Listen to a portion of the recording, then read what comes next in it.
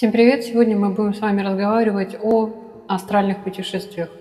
Итак, астральное путешествие частично путают с выходом души из тела.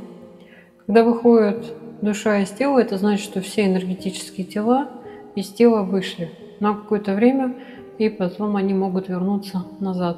Если какое-то энергетическое тело осталось, тогда остановки сердца не будет. Если все тела вышли, соответственно, будет остановка сердца. Астральное путешествие – это по определению понятно, что выходит только астральное тело вместе с сознанием. Есть прямые методы выхода, есть у эзотериков косвенные выходы или непрямой метод, как еще называют. Что такое прямой метод? Это значит, что когда вы засыпаете, именно в этот момент вы пытаетесь выйти из физического тела. Когда вы выходите, ваша шишковидная железа включается и начинает показывать вам какие-то образы, обычно их называют мультиками. Это включение шишковидной железы – индикатор того, что вы можете выйти – но прямой метод достаточно сложен. Обычно говорят, что надо выкатиться из тела, попробовать своей призрачной рукой подвигать, чтобы оно вышло из физического тела и так далее. Когда вы таким образом выходите, получается, что вы выходите и становитесь рядом с физическим телом. А физическое тело имеет свойство затягивать свое энергетическое тело хоть какое, вышло все равно, если оно рядом с физическим, происходит процесс затягивания. Соответственно, когда вы выходите, вам надо выходить подальше от себя. Вот если вы придумаете образ, скажем, парк, дерево, лавочка, и я сижу на лавочке. И вы уже практически чувствуете, что вы сидите на лавочке, но одновременно вы чувствуете, что вы находитесь в физическом теле, на кровати лежите под одеялом.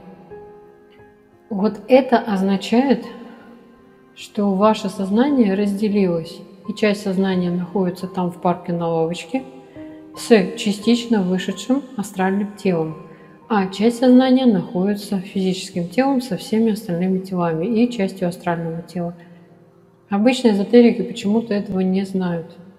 И если вы свое внимание направите на ту часть, которая у вас сидит на лавочке, дальше вы можете себя таким образом перетянуть. И тогда астральное тело полностью выйдет с физического тела, и вы действительно окажетесь в парке. Либо, если процесс не пошел, тогда вы опять окажетесь полностью в теле. Это вот достаточно эффективный прямой метод. Есть не прямой метод тогда, когда вы вспоминаете себя во сне.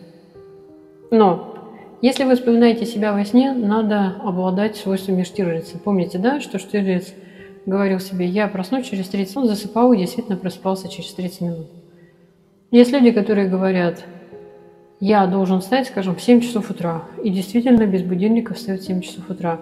Если у вас эти навыки есть, значит вы и можете проснуться во сне.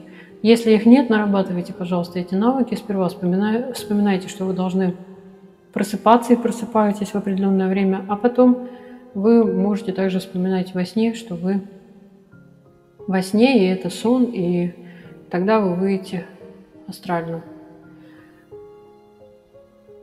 Это очень хороший метод, его надо применять.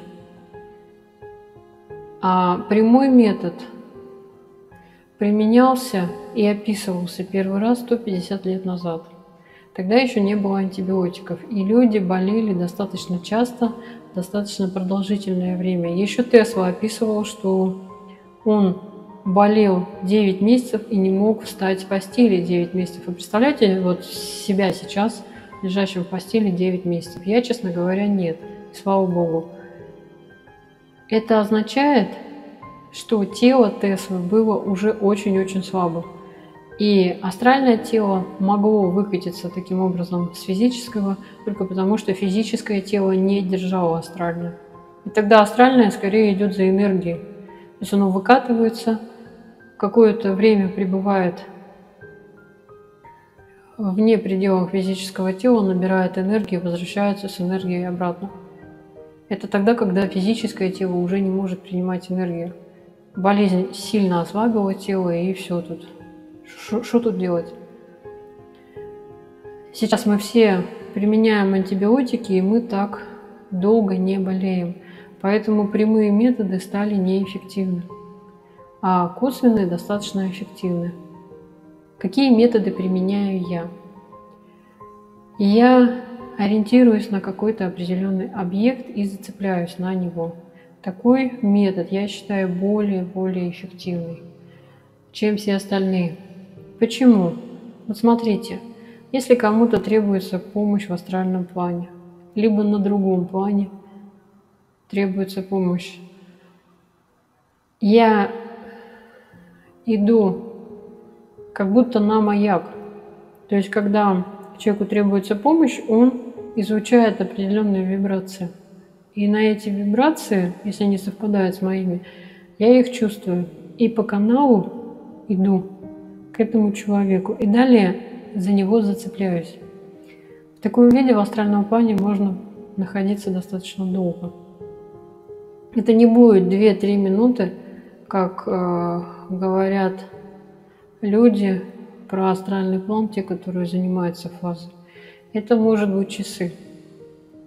Вы не все будете помнить, потому что ваше сознание будет то очень ярким, то чуть меркнуть, то опять ярким. Это зависит от действий тех, которые происходят там у вас. Но такое возможно. Либо еще один метод возможен тогда, когда кто-то с вами контактирует либо на астральном плане, либо на физическом. Если на астральном плане, например, какая-то сущность к вам пришла, ваше подсознание будет выдергивать сознание и говорить взаимодействие. Вот к нам пришли, разбирайся, что происходит. Если вас будет на физическом плане, естественно, вы проснетесь на физическом плане. Например, вас будет вставать на работу или там на учебу. Будет так. Так вот, в астральном плане происходит то же самое. Как только с вами начинает взаимодействовать, кто-то к вам пришел, сразу же вы начинаете просыпаться в астральном плане. Это не очень хороший метод. Если к вам пришли, обычно в астральном плане приходят с целью напитаться от вас энергией. Естественно, приходится защищаться. Лучше бы к вам и не приходили. Но такой метод есть тоже. Что можно сказать еще об астральных путешествиях? Мало кто знает, как вообще весь процесс должен происходить. Шишковидная железа включается. Вы смотрите мультики своеобразные. И далее вы выходите. Вот когда вы вышли, тогда ваше физическое тело остается без движения. Есть люди сомнамбулы, либо лунатики, у которых этого процесса не происходит, то есть тело не блокируется. И тогда мы можем наблюдать, как лунатик ходит во сне. Есть люди, которые испытывают сонный паралич. Это такое состояние, когда мы проснулись, а пошевелить телом не можем. Это тоже сбой программы. Вы проснулись, а ваше тело остается блокированным подсознанием. И что здесь надо делать? Обычно очень много людей страдает сонным параличом, и это считается, что вот тогда вы можете выходить в астральные путешествия. Нет, это просто сбой программы. Вам стоит заснуть еще раз хотя бы на секунду, когда вы оказались в такой ситуации, что вы проснулись, а тело не двигается. И тогда процесс может сработать, ну, то есть он один раз не сработал, второй раз он сработает, и вы сможете двигаться, вы сможете встать. Есть еще третий сбой, о нем мало кто знает. Это тогда, когда вам кажется, что вы проснулись, и какая-то часть органов не работает. Либо вы не двигаетесь, либо вы не видите глазами, либо вы не слышите, либо все вместе. То есть вы проснулись вместе, вместе там темно, вы ничего не чувствуете, никого не слышите, полная глухота и не можете ничего сказать. Люди обычно в таких состояниях пугаются. Но на самом деле это значит, что вы перешли в астральный план, Но органы чувств там не включились. И люди обычно начинают как-то эмоционировать, что-то, а, что происходит, я оглох, я ослеп и так далее. На самом деле вам надо просто там во сне лечь и заснуть, и вы проснетесь, с вами будет все в порядке. Еще раз про сбои. Есть сбои тогда, когда тело не отключается при сне. И тогда, когда во сне мы прыгаем, бегаем, наше физическое тело тоже может как-то двигаться. Второе, сбой, это тогда, когда тело не включается при просыпании, и вы не можете двигаться. И третье, когда в астральном плане органы чувств не работают. Вот три сбоя. Напишите, пожалуйста, в комментариях, какие астральные путешествия вы испытывали. Или, может быть, вы спонтанно просыпались во сне. Напишите какие-нибудь интересные истории, если они у вас были, с кем вы контактировали на астральном плане.